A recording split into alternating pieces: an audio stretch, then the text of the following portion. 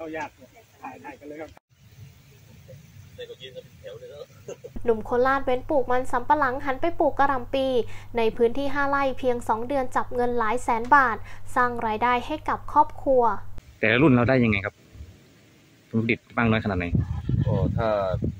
ถ้าที่เคยทำได้ก็ตกไร่เกับเจ็ดตันครับ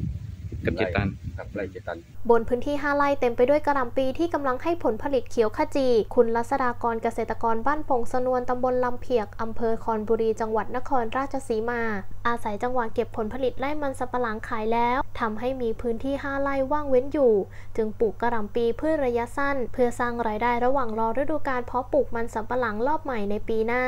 เนื่องจากอยู่ในช่วงฤดูหนาว สภาพอากาศหนาวเย็นเหมาะต่อการปลูกผักกระหล่ำตอนนี้ผลผลิตงอกงามเตรียมที่จะเก็บเกี่ยวส่งขายในกลางเดือนธันวาคมที่จะถึงนี้ คุณรัศดากรบอกว่ากระหล่ำเป็นพืชที่ชอบอากาศเย็น และใช้น้ำน้อย ใช้เวลาปลูกไม่นานเพียงแค่ 2 เดือนสามารถเก็บเกี่ยวผลผลิตได้ หลังทดลองปลูกพบว่าได้ผลผลิตดีเป็นที่น่าพอใจ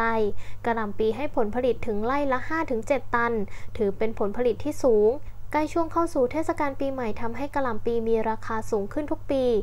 15-22 บาท กลายเป็นพืชที่สร้างรายได้ให้กับครอบครัวปลูกแบบนี้มา 10 ปีแล้ว แต่ละปีพื้นที่ 5 ไร่ได้ผลผลิตไม่น้อยกว่า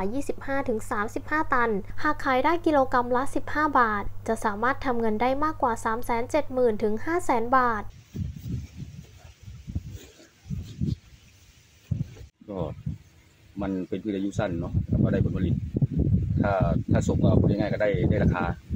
ติดเงินถินถินเงินใบอะครับครับผมทำไมเราถึงเลือกปลูกช่วงนี้ ปกติปลูกอะไรครับ ปกติปลูกมันสำปะหลังอืมพอปลูกมันสำปะหลังประมาณหกเจ็ดเดือนแล้วก็ถอนออกแล้วก็ใส่พืชอายุสั้นใส่กระหลำอืมถ้าปลูกข้าวโพดก็ไร่หนึงก็คงจะได้เงินสู้สู้กระหลำไม่ได้นะครับที่ว่างั้นนะทำไมราคาช่วงนี้มันจะแพงนะครับก็ส่วนมากที่เคยทำได้ก็จะอยู่ช่วงคาบเกี่ยวก่อนก่อนปีใหม่กำลังปีใหม่นิดหน่อยนิดหน่อย อืมราคามันได้ครับ อืมแล้วท่านนี้มากี่ปีแล้วครับเนี่ย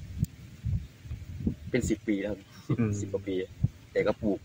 ช่วงนี้ตลอดแหละอ่าถ้าไม่ออกช่วงก่อนปีใหม่แล้วก็มกราคมกุมภาก็ออกประมาณนี้ครับอืม แต่ละรุ่นเราได้ยังไงครับผลผลิตบ้างน้อยขนาดไหนก็ถ้า ถ้าที่เคยทำได้ก็ตกไร่เกับเจ็ดตันครับเกับเจ็ดตัน ครับไร่เจ็ดตัน ราคาช่วงนี้ประมาณเท่าไหร่ไหมครับ ช่วงนี้ที่เขาไปขายกันนะครับ ประมาณร้อยสี่สิบร้อยห้าสิบอืม ก็สิบสี่สิบห้าบาทต่อกิโลครับผมนี่เป็นราคาที่สูงนะครับสำหรับกระหล่ำถือว่าโอเคนะครับจะได้จะได้ เด็กเคยทำได้ถูกสุดก็มีสองสองสองร้อยยี่สิบถุงนึงก็อืมสองร้อยยี่สิบกว่าบาทอย่าลืมกดติดตามสำนักข่าวไทยออนไลน์ได้ในทุกช่องทางของเรา ไม่ว่าจะเป็น Facebook Twitter YouTube IG TikTok เพื่อที่จะไม่พลาดชมข่าวสารและสาระความบันเทิงที่กำลังเป็นกระแสในทุกเวลา